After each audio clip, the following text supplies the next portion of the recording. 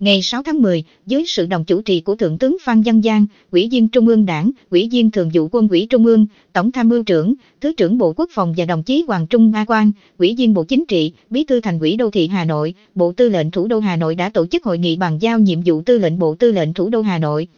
Theo đó, Thiếu tướng Nguyễn Quốc Duyệt, Phó Tư lệnh Bộ Tư lệnh Quân khu 3 tiếp nhận nhiệm vụ Tư lệnh Bộ Tư lệnh Thủ đô Hà Nội thay Thiếu tướng Nguyễn Hồng Thái tiếp nhận nhiệm vụ Tư lệnh Quân khu 1.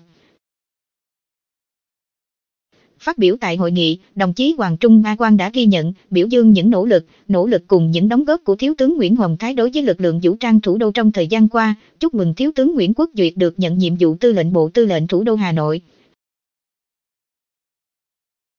Đồng thời, đồng chí Hoàng Trung Nga Quang cũng đòi hỏi Thiếu tướng Nguyễn Quốc Duyệt nhanh lẹ ổn định công tác trên cương vị mới, đoàn kết, khắc phục khó khăn, sát cánh cùng tập thể hướng dẫn đảng ủy, Bộ Tư lệnh Thủ đô Hà Nội vững mạnh toàn diện, kết thúc tốt mọi nhiệm vụ được giao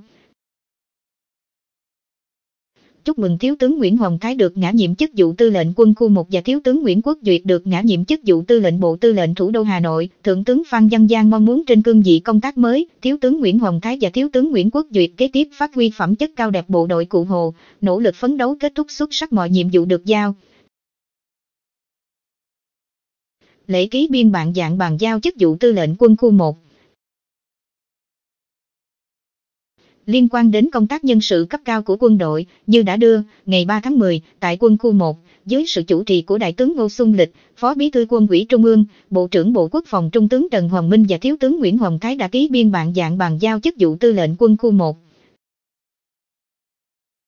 Theo đó, Trung tướng Trần Hoàng Minh đảm nhiệm chức vụ chủ nhiệm Tổng cục Công nghiệp Quốc phòng. Thiếu tướng Nguyễn Hồng Thái, tư lệnh Bộ Tư lệnh Thủ đô sẽ đảm nhiệm chức vụ tư lệnh quân khu 1. Lễ ký biên bản dạng bàn giao chức vụ tư lệnh quân khu 2. Trước đó, ngày 29 tháng 9, tại quân khu 2, dưới sự chủ trì của Đại tướng Ngô Xuân Lịch, Trung tướng Phùng Sĩ Tấn và Thiếu tướng Phạm Hồng Trân đã ký biên bản dạng bàn giao chức vụ tư lệnh quân khu 2. Theo đó, Thiếu tướng Phạm Hồng Chương, Phó Tư lệnh, Tham mưu trưởng quân khu 2 tiếp nhận nhiệm vụ Tư lệnh quân khu 2 thay cho Trung tướng Phùng Sĩ Tấn. Tư lệnh quân khu 2 đã được Thủ tướng Chính phủ ngã nhiệm giữ chức vụ Phó Tổng Tham mưu trưởng quân đội Nhân dân Việt Nam.